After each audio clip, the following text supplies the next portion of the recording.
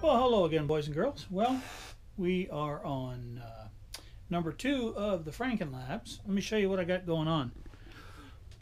As you can see, I got pieces, parts laying everywhere. The reason is today we're doing a little bit of carpentry. Got a case here that I'm working on. And uh, as soon as it's finished, the electronics will go inside in a sliding drawer and the mill will mount up on top. So I got it gluing up right now. As soon as it's finished, I'll start mounting stuff.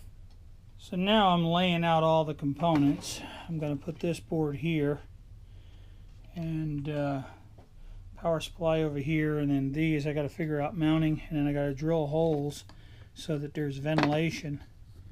Um, just finished doing the, the front panel.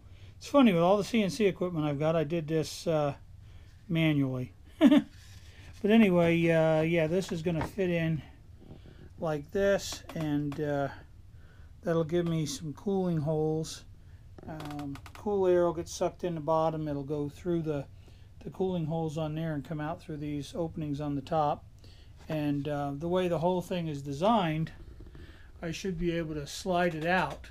That way I can show it off, make changes to it, and I can teach people, which is the whole idea behind it.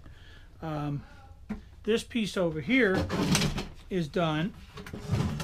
It's the opening for it right here. And hey, babe. And uh, this is uh, where the drawer is going to slide in. So um, we're getting there. Well, as you can see, I'm starting the assembly. I'm getting all my mounting in place.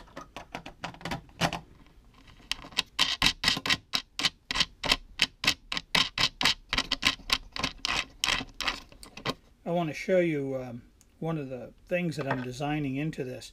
You see there's some holes here. Those are the mounting holes for the driver. And you see here I've got a hole in the center. The reason is there's a heat sink on the bottom of each one of these drivers. And by me placing this over the hole like this, what will happen is the uh, air will come up here and come out the sides. So uh, cool air will be sucked in the bottom, the hot air will come out of the top, and it'll uh, keep these things cool.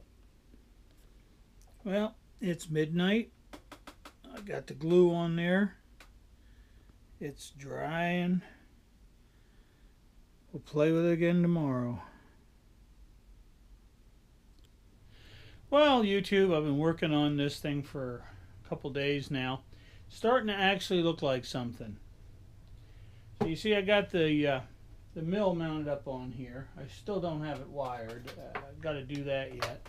Um, but I do have these components are mounted nicely in a drawer. Um, so now I'll bring the wires in and hook up uh, those three, well, those two cables. I still have to work on the Z-axis. And then I got to wire the 24 volt supply. And other than that, it should be functional. So um, we'll test it out and see what happens up on here. Um, I've got LinuxCNC fired up. Um, it's running. So I figured I'd just test it out here.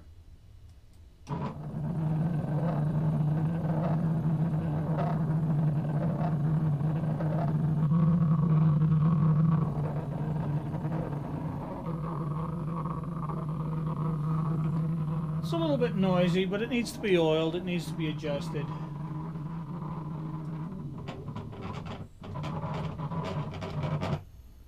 Yeah, needs a little adjustment.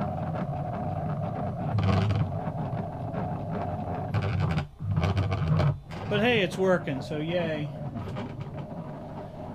So, now to clean it up a little bit, adjust it, tweak up the files, and uh, I'll have some show and tell this week.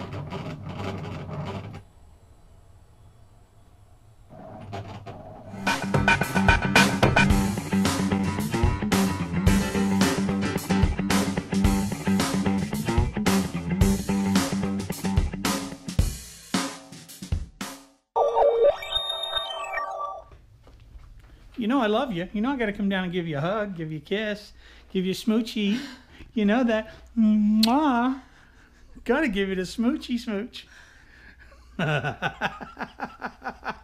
do it again. Mwah. Look at that face. Crazy eyes.